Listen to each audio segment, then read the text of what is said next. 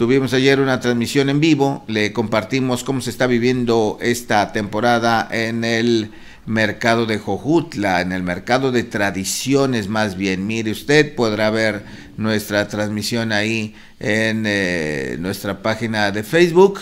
Eh, había mucha gente comprando, los comerciantes en general coincidieron en que se ha mejorado la temporada han vendido bien, están a gusto y bueno, pues la gente consumiendo, comprando los productos. Nos encontramos ahí a muchos grupos de niños y adultos disfrazados pidiendo su calaverita. Eh, nos dijeron también las veladoras, oiga, eh, fíjese que una, una vendedora nos dijo, mi abuelita me dijo que las veladoras son para el aniversario luctuoso pues de la persona que ya, ya se fue, ya falleció. Y para los días de muertos los indicadas son estas ceras, mire, estas ceras, que estas eh, como velas, que eh, son de, hechas con, con, miel de abeja, con cera de abeja, estas eh, velas más largas y son las que deberían ser, dijo, para la ofrenda, aunque pues son más caras.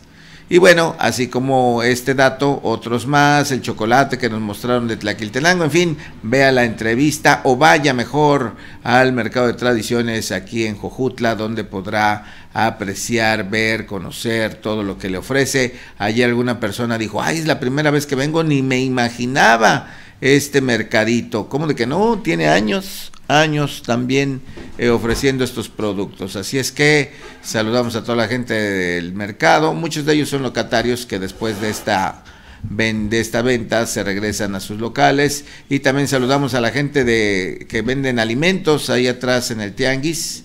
Eh, saludamos a estas personas que amablemente, por cierto, eh, uno de los puestos nos obsequiaron un atolito muy rico. Así es que muchas gracias y saludos. El cocido, ahí no había cocido, compañero. No, ahí no venden cocido.